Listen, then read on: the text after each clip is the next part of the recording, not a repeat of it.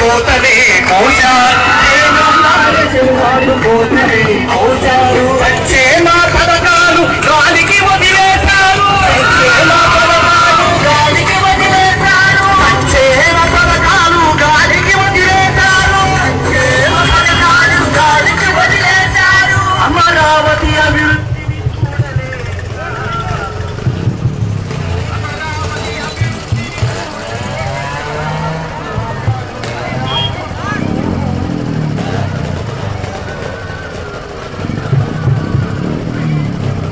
అందరికీ నమస్కారం.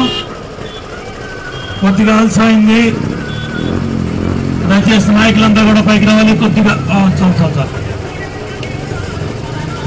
విజయవాడలో అమరావతి జేఎల్సీ వారు ర్యాలీ పెట్టడంతో ఆ ర్యాలీలో నాయకులందరూ కూడా పాల్గొన్నారు. రైలు ఏలూరు రోడ్లో దగ్గర దగ్గర ఐదింటి దాకా ర్యాలీలో ఉండి రావటం వల్ల అలసిపోయింది. చాలా సంతోషం ఈరోజు అన్ని గ్రామాల్లో కూడా. ప్రజా చైతన్య యాత్ర కార్యక్రమాలు ప్రారంభమయ్యాయి. గొల్లపూడిలో ప్రారంభం చేశాను. దాంగూరు అయిపోయింది.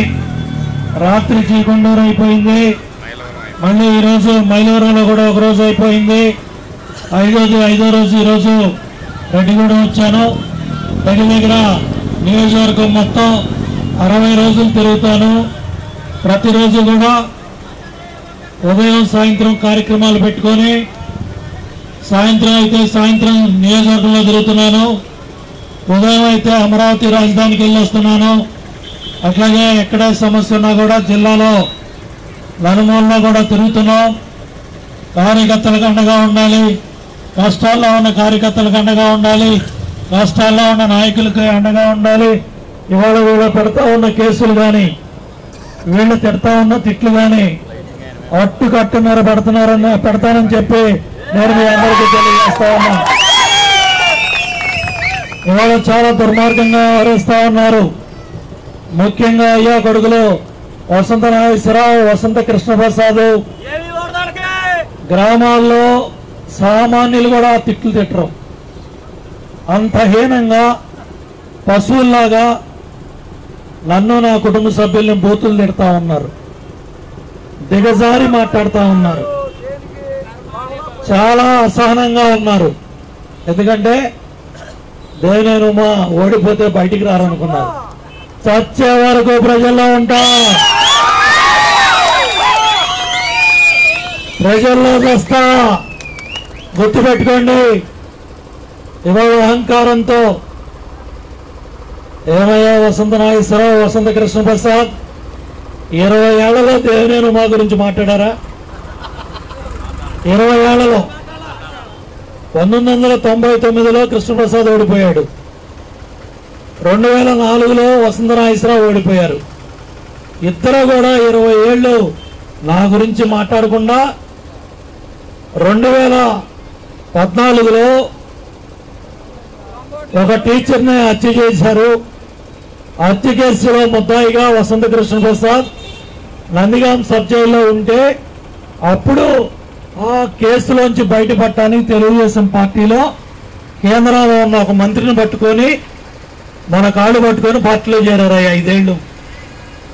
ఐదేళ్ళు పార్టీలో చేరి అన్ని సర్దుకొని సంపాదించుకొని రెండు వేల పంతొమ్మిదిలో కృష్ణప్రసాద్ నా గురించి మాట్లాడాడు. తిరిగి బంధులు మీరా నేనా? ఆ రోజు మాట్లాడుతున్నా ఈ రోజు మాట్లాడుతున్నా. తమ్ముడు మాట్లాడుతున్నాడు ఓట్లేస్తే తెలుస్తుంది అది ఈవీఎంలు మామని మాట్లాడుతా ఉన్నాడు. తప్పకుండా తమ్ముడు రాష్ట్రం అంతా ఇదే ఉంది. తొమ్మిది నెలల్లో ప్రజలు ఎందుకు ఇంత పెద్ద ఎత్తున బయటకు వస్తా ఉన్నారు?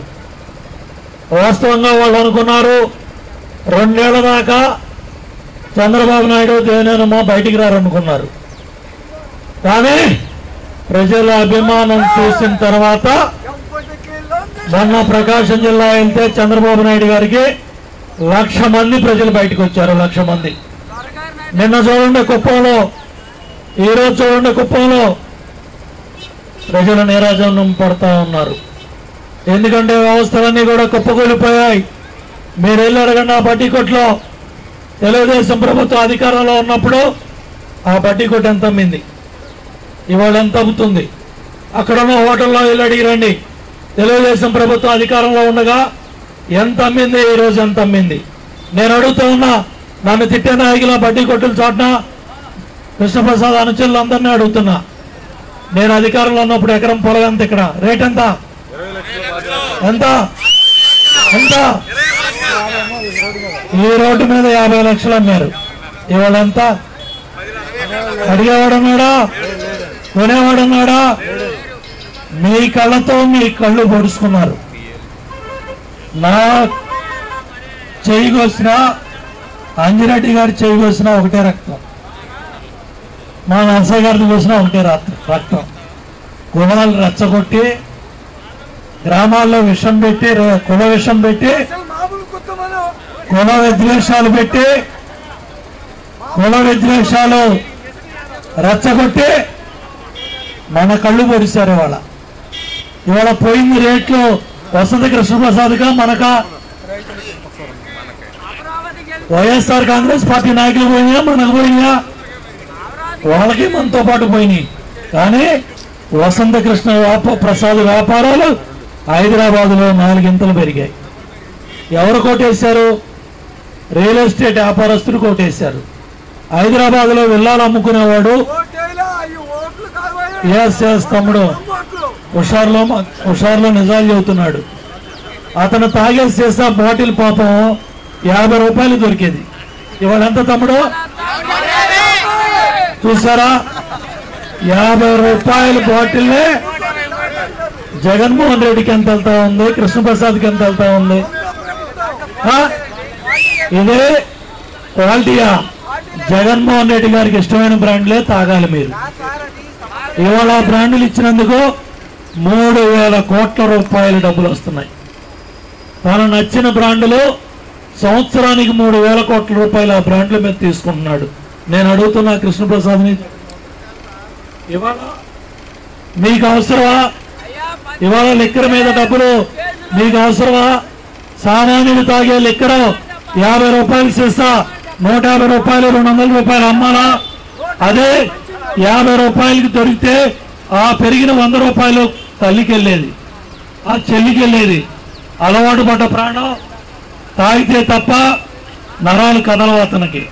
ఇప్పుడు నీకో నాకో విజయబాబుకో లేదు అలవాటు. కానీ సామాన్యుడు కష్టపడేవాడు ఎవరైతే అలవాటు పడ్డారో వాళ్ళకు తప్పటం లేదు. ఒక-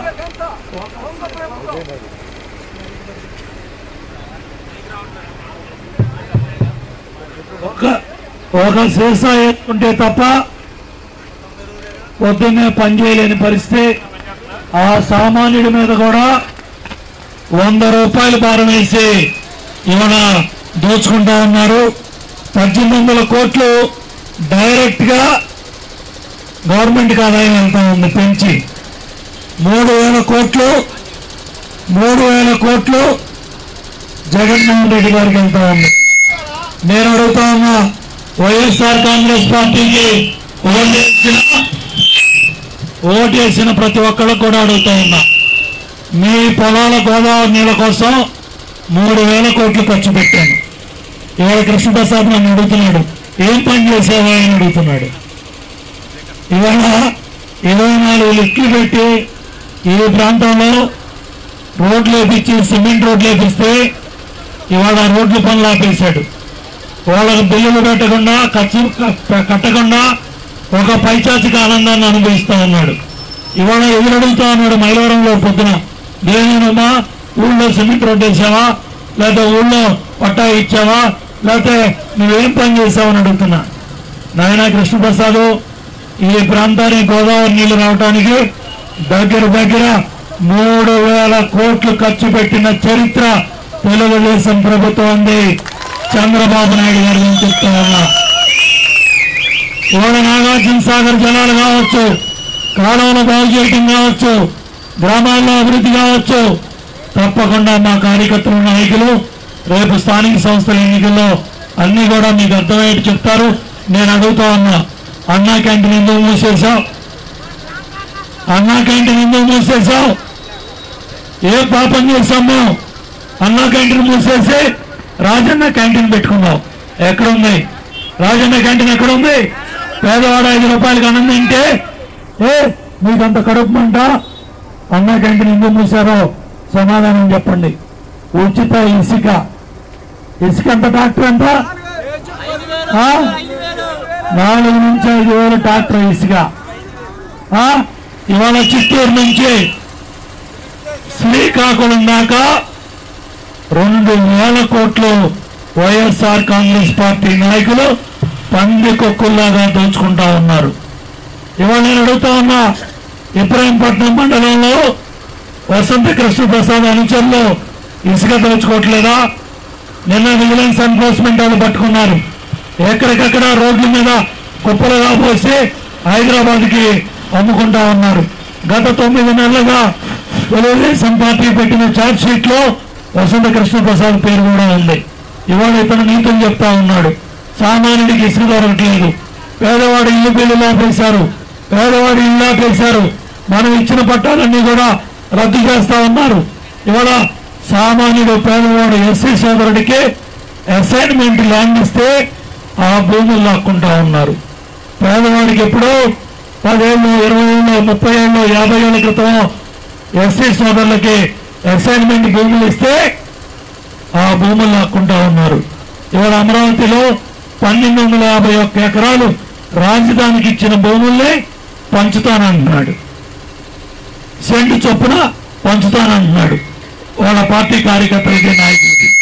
అమరావతి కోసం డెబ్బై రోజులుగా ఆడవాళ్ళు రైతులు గుండెల బదులు ఏడుస్తా ఉంటే ఒక్కసారన్నా జగన్మోహన్ రెడ్డి చూశాడా? ఒక్కసారన్నా పలకరించాడా? మందడం గ్రామంలో ఇవాళ పట్టారడ్డం పెట్టుకొని ముఖ్యమంత్రి వెయ్యి మంది పోలీసులను పెట్టుకొని డమ్మీ కాన్వాయ్ పెట్టుకొని డమ్మీ కాన్వాయ్ పంపించి ఆ డమ్మీ కాన్వాయ్ మీద ఎవరో కూడా కాగితం అయిపోతే మూడోసారో నాలుగోసారో కారులో వెళ్తున్నాడు. ఒక ముఖ్యమంత్రి ఇంత భయపడిన పరిస్థితి దేశంలో ఎక్కడన్నా ఉందా? ఇంటి చుట్టూ వన్ ఫార్టీ ఫోర్ సెక్షన్ ఎవడన్నా పెట్టించుకుంటాడా? ఇంటి చుట్టూ సెక్షన్ థర్టీ ఎవడన్నా పెట్టించుకుంటాడా? ఇదా రాజన్న పాలన అంటే ఇదా జగన్మోహన్ రెడ్డి పాలన అంటే ఇదా దీనికోసం ఒక్కసారి ఒక్కసారి అని ఓటు అడిగావు దీనికోసం సమాధానం చెప్పాలని కూడా నేను అడుగుతా ఉన్నా. సంక్రాంతి కానుక ఇచ్చాడా? రంజాన్ తోఫా ఇచ్చాడా? క్రిస్మస్ కానుక ఇచ్చాడా? బీసీ కార్పొరేషన్ లోన్లు. ఎస్సీ కార్పొరేషన్ లోన్లు. ఎస్టీ కార్పొరేషన్ లోన్లు. మైనార్టీ కార్పొరేషన్ లోన్లు. ఆదరణ పథకాలు. ఎక్కడన్నా ఎక్కడన్నా ఎక్కడన్నా ఎక్కడన్నా ఎక్కడన్నా ఎవరికన్నా తొమ్మిది నెలలో వచ్చిందా? యాభై వేల కోట్ల అప్పులు చేశాడు ఇప్పటికి. యాభై వేల కోట్ల అప్పులు చేసి వ్యవస్థలన్నీ కుప్పగొల్చి అడ్మినిస్ట్రేషన్ చేతకాక పరిపాలన చేతకాక ఇవాళ గవర్నర్ గారు జీతాలు ఇచ్చే పరిస్థితి రాబోతా ఉంది. గవర్నర్ గారు రాబోయే రోజుల్లో పెన్షన్లు రెండు నెలలకు ఇస్తాడా మూడు నెలలకు ఇస్తాడా? ఇక గవర్నర్ దాని మీద ఆధారపడి ఉంది. ఇవాళ రాష్ట్రాన్ని నట్టేయడం ముంచేశాడు ఇవాళ మీ ఊళ్ళో పేదవాడికి ఇక్కడ అరెకరం ఉంది. ఆ ఎకరం అరెకరం ఇరవై లక్షలు ముప్పై లక్షలు యాభై లక్షలు నా అప్పులన్నీ తీరిపోతాయి. నా పిల్లలు చదువులు అయిపోతాయి. నా ఆరోగ్యాలు బాగుపడతాయి. ఒక ఇల్లు కట్టుకుంటాను ఒక అరెకరం బయట కొనుక్కుంటానని చెప్పి కూడా చాలా ఆస్తితో బతికాం. ఇక్కడ మొత్తం ఇతని అసమర్థ పరిపాలన వల్ల వ్యవస్థలన్నీ కూడా కుప్పగొలిపోయాం కాపు రిజర్వేషన్ ఎందుకు రద్దు చేశావు కాపు రిజర్వేషన్లో ఏమయ్యాయి? మైక్ తీసుకో. కాపు రిజర్వేషన్లో ఏమయ్యాయి? అట్లాగే నిరుద్యోగులకి రెండు వేలు ఇచ్చాం. చదువుకున్న పిల్లాడికి రెండు వేలు ఇచ్చాం. ఇవాళ ఏమైంది రెండు వేలు? ఎందుకు రెండు వేలు ఇవ్వట్లా? ఎందుకు రద్దు చేసావు అట్లాగే రాజధాని అమరావతి పనులు ఆపేశాడు. అట్లాగే పోలవరాన్ని పోలవరంలో వచ్చిన చేస్తున్నాయి పోలవరాన్ని పండబెట్టేశాడు పోలవరాన్ని పండబెట్టేశాడు. పోలవరాన్ని పండబెట్టేశాడు. పోలవరానికి ఎన్నిసార్లు వెళ్ళొచ్చాం? నెలకి రెండు మూడు సార్లు వెళ్ళేవాడిని. ఇవాళ ఎందుకెళ్ళా ముఖ్యమంత్రి ఎన్నిసార్లు వెళ్ళాడు? చంద్రబాబు నాయుడు గారు ఎన్నిసార్లు వెళ్ళాడు? నేను ఎన్నిసార్లు వెళ్ళాను? మీరు ఎన్నిసార్లు వెళ్ళారు? ఇవాళ పోలవరాన్ని పండబెట్టి గోదావరి జిల్లా వాళ్ళకు ఉపయోగపడుద్ది. కృష్ణా గుంటూరు జిల్లా వాళ్ళకి ఉపయోగపడితే వీళ్ళంతా ఒక కులం అంట. ఈ నాలుగు జిల్లాల్లో రెండు మూడు కులాలకు ఉపయోగపడుతుంది కాబట్టి నేను చెయ్యను. నేను చేసిన పనులు ఐదు వేల ఐదు వందల కోట్ల డబ్బులు రావాలి. నేను తిట్టగా తిట్టగా తిట్టగా తిట్టగా పద్దెనిమిది వందల కోట్లు వచ్చాయి. ఆ పద్దెనిమిది వందల కోట్లలో వెయ్యి కోట్లు లెక్కర కంపెనీ వాళ్ళకి ఇచ్చాడు. ఎవరికి ఇచ్చాడో లెక్కర్ కంపెనీ వాళ్ళకి ఇచ్చాడు. లెక్కర్ కంపెనీ వాళ్ళకి వెయ్యి కోట్లు ఇచ్చాడు.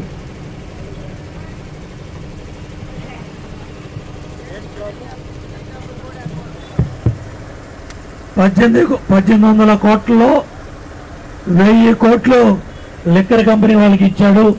ఈ విధంగా తెలుగు తక్కువ పరిపాలన సాగుతూ ఉంది. అదేవిధంగా భారాలు తీసుకోండి. ఇసుక ఎలా వేసాడో చెప్పాను. తర్వాత సిమెంట్ బస్తా నూట ముప్పై రూపాయలు పెరిగింది. దాని మీద కూడా జే ట్యాక్స్ వేసి సిమెంట్ కంపెనీల దగ్గర డబ్బులు తీసుకుంటా ఉన్నాడు. కరెంటు తొంభై యూనిట్లు పెరిగి తొంభై పైసలు యూనిట్ పెరిగింది. దగ్గర దగ్గర కరెంట్ ఛార్జీల మీద పదమూడు వందల కోట్లు భారం పడింది. అదేవిధంగా దగ్గర దగ్గర ఆర్టీసీ ఛార్జీలు ఏడు వందల కోట్లు పెరిగాయి. చూడండి ఎప్పుడన్నా ఐదేళ్ళలో కరెంట్ ఛార్జీలు పెంచామా ఆర్టీసీ ఛార్జీలు పెంచామా ఇవాళ చూడండి కరెంట్ ఛార్జీలు పెంచాడు ఆర్టీసీ ఛార్జీలు పెంచాడు. మరి సిలిండర్ ఎంత పెరిగిందో చూడండి పెట్రోల్ డీజిల్ మీద ఐదు వందల కోట్లు భారం వేశాడు. ఇంతేకాకుండా చదువుకునే పిల్లలకి యూనివర్సిటీలో ఫీజు కూడా ఎనిమిది వందల రూపాయలు పెంచాడు. ఉల్లిపాయ అంతా ఉల్లిపాయ. కేజీ ఉల్లిపాయ వంద రూపాయలకి తీసుకెళ్ళాడు నూట యాభై వంద రూపాయలకి వెళ్ళిన ఉల్లిపాయ ఇవాళ సామాన్యుడు కొనే పరిస్థితి లేదు. మరి అదేవిధంగా కేబుల్ రేట్లంతా మూడు వందల? మూడు వందల కేబుల్. కేబుల్ మూడు వందలు అయింది. ఫైబర్ నెట్ పోయింది. రైతు భరోసా తొమ్మిది వేల ఐదు వందల నుంచి పదమూడు వేల ఐదు వందలకి తగ్గించాడు. అట్లాగే ఏడు లక్షల పెన్షన్లు తీసేశాడు. ఎంత? ఏడు లక్షల పెన్షన్లు తీసేశాడు. ఇరవై లక్షల రేషన్ కార్డులు తీసేశాడు. ఇరవై లక్షల రేషన్ కార్డులు ఏడు లక్షల పెన్షన్లు తీసేశాడు. అంతేకాకుండా రాష్ట్రంలో